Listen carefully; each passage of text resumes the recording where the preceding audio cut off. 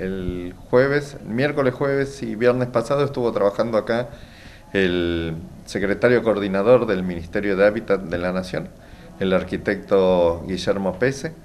Eh, con él estuvimos recorriendo eh, toda la zona del incendio, no solo acá en Lago Pueblo, sino que recorrió toda la comarca.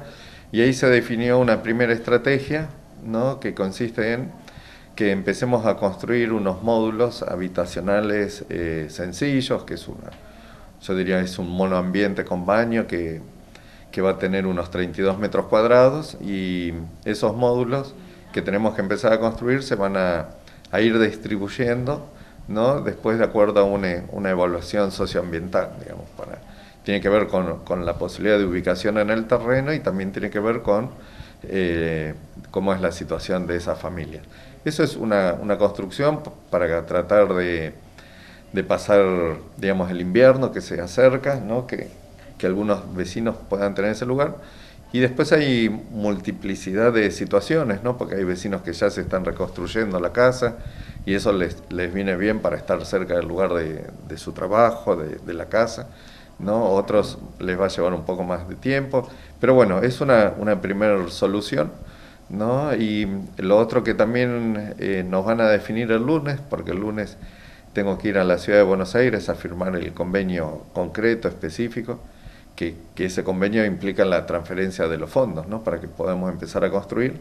Y después va a haber una, una ayuda en, este, en materiales o en dinero, eso todavía no lo sabemos, eh, que es para aquellos donde con algunas mejoras pueden volver a, a vivir a su casa, ¿no? Con, con, algún, no, no hacer una casa de cero kilómetros, sino hay, hay, algunas propiedades que fueron dañadas parcialmente, ¿no? Entonces quizás con un aporte de parte de, del Estado Nacional a través del municipio puedan reconstruir eso que se dañó y, y puedan volver a, a ocupar su, su vivienda. ¿no? ¿Qué van a hacer? ¿Subsidios, Augusto, serían? Eso nos vamos a enterar el lunes que nos convocaron a todos los intendentes a la ciudad de Buenos Aires ¿no? para, para llevar adelante este trabajo.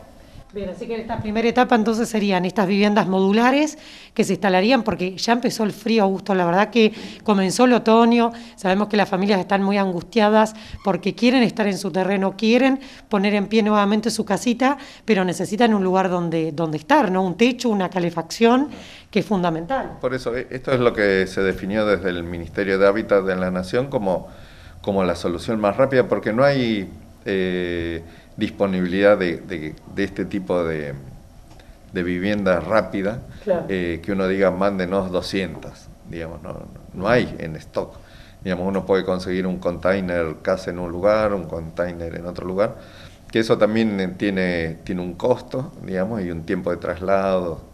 Y lo, lo importante por ahí que quiero aclarar es que ayer en una reunión de vecinos, me, cuando les contaba esta posibilidad, me decían eh, si no existía la posibilidad de que el Estado les dé directamente dinero. Eh, y bueno, yo le planteé que el Estado Nacional no, digamos, tiene un, programa para asistir a las emergencias construyendo estos módulos rápidos y lo otro que mencioné recién, que es un aporte de dinero o de materiales para, para alguna mejora o alguna reparación menor, pero que habilite utilizar la casa. ¿no? Eso es lo que tenemos de Nación y lo tenemos que ir a, a concretar con la firma del convenio el lunes en, en la ciudad de Buenos Aires.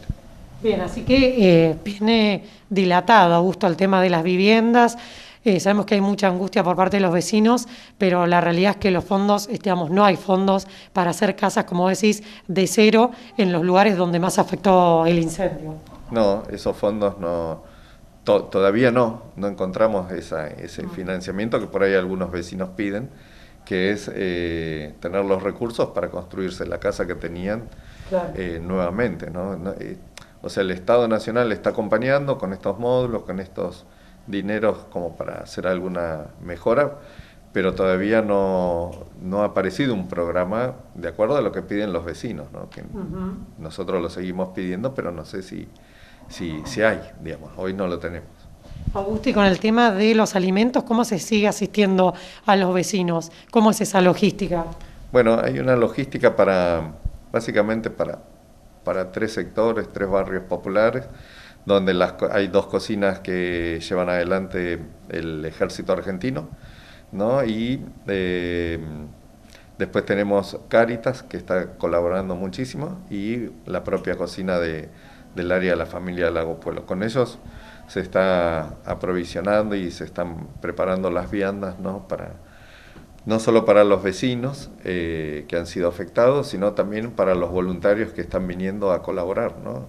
Sábado y domingo, y bueno, ayer feriado que había muchos voluntarios ayudando, este, también acompañamos con, con este alimento ¿no? que prepara el ejército, Cáritas y el municipio de Lago Pueblo. Bien, entonces en ese sentido estarían cubiertos. ¿Ustedes se sienten satisfechos de esa manera con esa asistencia? Nosotros creemos que es una buena asistencia, siempre puede haber algún, alguna pequeña falla logística que por ahí en algún lugar se lleve de más y quizás en otro de menos, pero bueno, teniendo en cuenta cómo es la, geografía, cómo es las comunicaciones, cómo es la propia organización de los vecinos, en líneas generales creo que estamos cubriendo esa demanda bastante bien.